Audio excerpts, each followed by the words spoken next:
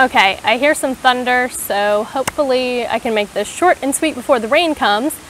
But I wanted to share something that I've been experiencing or going through in my own personal walk. So, I'm sure I look like an absolute mess, but I've been backpacking for two days, so this is real. This is what we look like in the wild. So if you can look past that, then I promise there is some good um, spiritual content coming your way. So, um, something that I have been experiencing is a lot of confusion as far as negative emotions and my faith. So, I used to think that anytime I felt fear or doubt or anxiety or worry or any type of uncertain emotion caused by the things going on around me or even the stuff going on in my own head, that that was grounds for a, a mental timeout that I needed to make myself feel as bad as possible and as guilty as possible for at least this amount of time to properly repent of feeling those emotions. And this is something I'm learning is really just not helpful.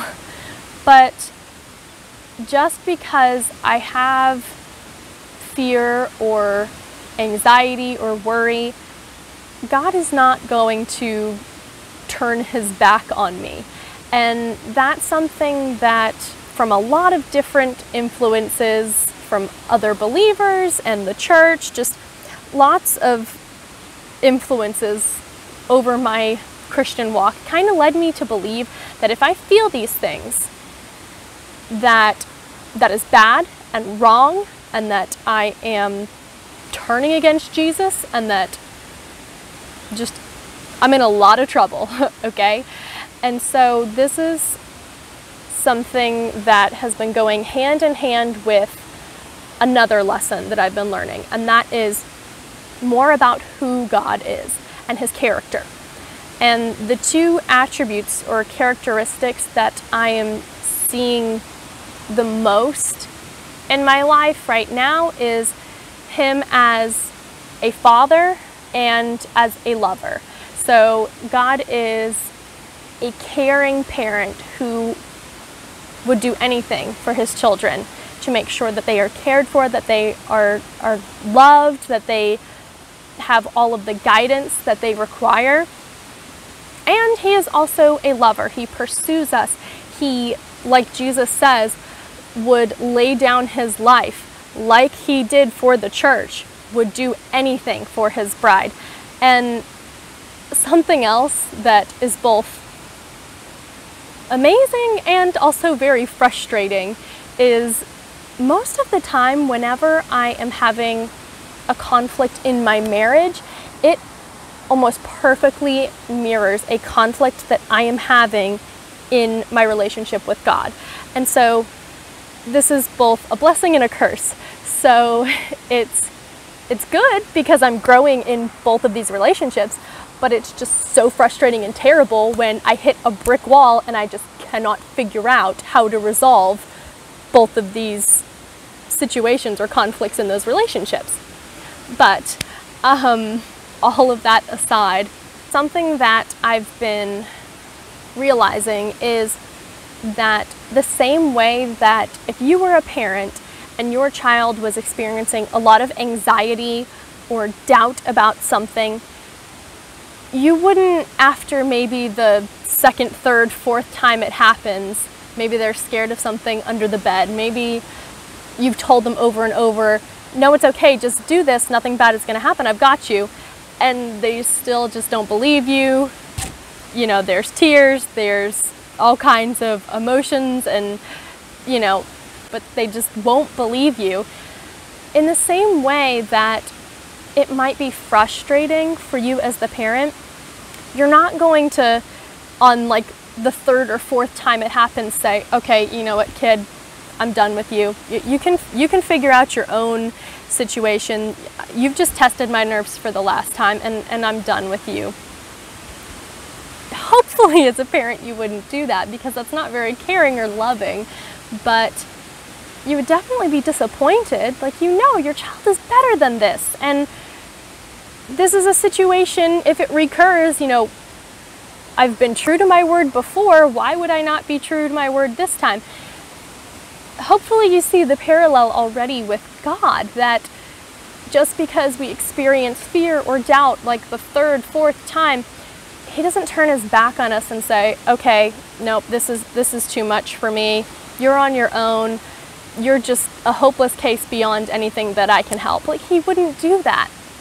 And in the same way that if you're a spouse, you know, if your spouse or significant other is experiencing the same thing, or you've told them over and over and they just have anxiety or they have some kind of doubt about something, you're not going to say, nope, okay, we need to break up.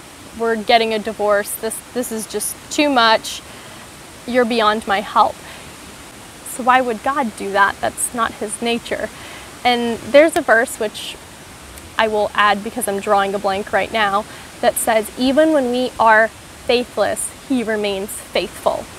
So, when we have our moments of doubt and lack of faith, he stays true to his character, he stays true to his promises, and our emotions, our reactions, our inner thoughts do not dictate whether or not God stays true to everything he is or says that he will do. And that's so comforting because whew, some of us, including myself, if if our God's trueness was dependent on our own emotional state or actions, we would be in a world of trouble. So I am so glad that He stays faithful even when I am faithless. And even when you are faithless, He remains faithful. So, as flawed human beings, we can still be good to our children and make sure that they have everything they need, if not more. So then, God, being completely perfect as a father, why would He not give you so much more and so much greater than a flawed human being could possibly provide. And this is something that I've been realizing. I am taking my knowledge of what earthly parents or earthly relationships are like and projecting that onto God, thinking that He is the same way. And it's just not so. So that's why we need to make sure that we are going to the Word, and that we are listening to directly what God's voice says about who He is and not so much what everybody else says or our experiences with other people and our experience in our own trials and situations in life. Because those things do not dictate who God is and whether or not He will do what He says He will do. So I think I had another verse in there that was really helpful. Give me a minute to think. I'm sure I'll remember it in a second. But to wrap this all up, should we live in fear and anxiety and worry and doubt and faithlessness? Absolutely not. But we are flawed and we are bound to do it. And these emotions are normal.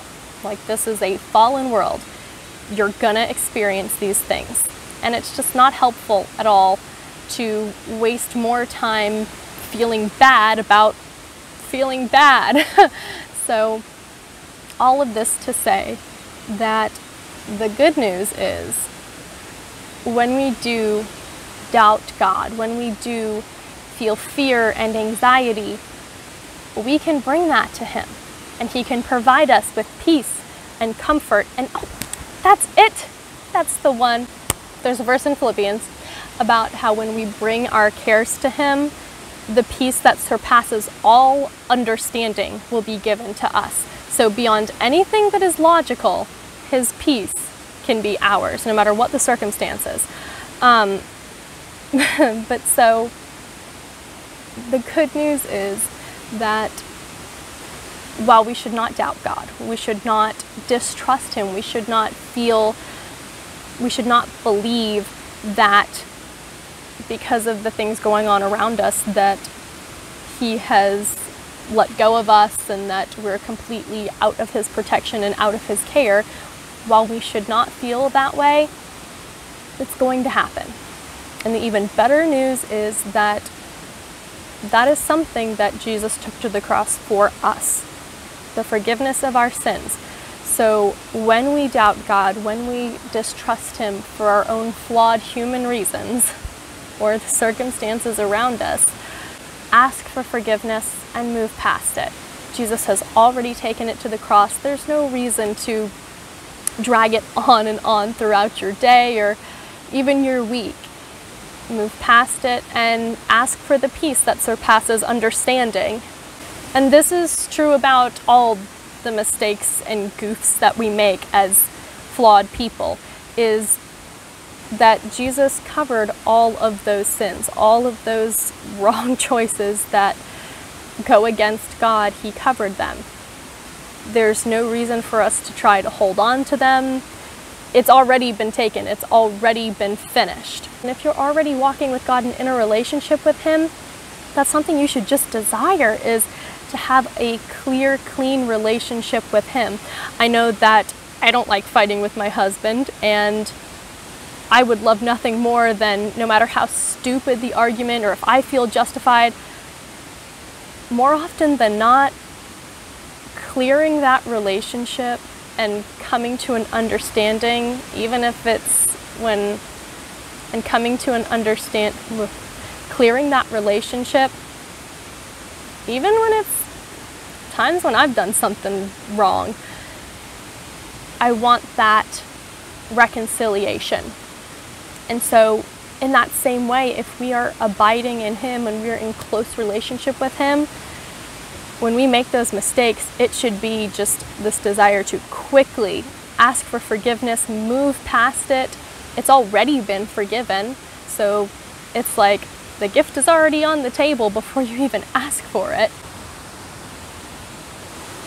I'm surprised that like all the other people walking up the trail have not gathered around for sermon time. Come for the hike, stay for the message. Anywho, all of this to say that we are going to experience fear and anxiety and doubt. These are normal emotions. It's a fallen world. But God is not going to reject us and turn his back on us, and he still is faithful and a loving Father. And when we notice that we are distrusting him for whatever reason, we just need to ask the forgiveness and move past it and ask Him for all of the things that we need to replace what we're experiencing. So if it's fear, ask Him to remove that fear and replace it with confidence. If we're feeling doubt, ask Him to remove and forgive that doubt and fill us with a faith, a belief that He is who He says He is and He will do what He says He will do. Um, and you know, I'm I'm a growing, learning Christian, so it could be that everything I'm saying right now is way off, and years down the road, I'm gonna be like, no, that's not how it is. For me, I'm still figuring things out. A lot of really important things. It's been a several year journey just to get to this point that God is who He is and He does what He says He will do. And learning still all the things that He says He is. I don't think I fully have a grasp on all of that or all the promises that He says that He will fulfill. Um, but day by day, bit by bit, I'm learning more and more of it and I hope in the future to share more of that with you. But yeah, I hope that this was uh, really helpful, and I hope that you can get maybe a tiny nugget of wisdom from it, and that my wild um, appearance didn't distract too much from uh, anything that I had to share. But yeah, I hope you have a fantastic day. And, uh, ooh, I hear that thunder, so I think we're wrapping up just in time before the rain comes in. Tracing my footsteps through the wind.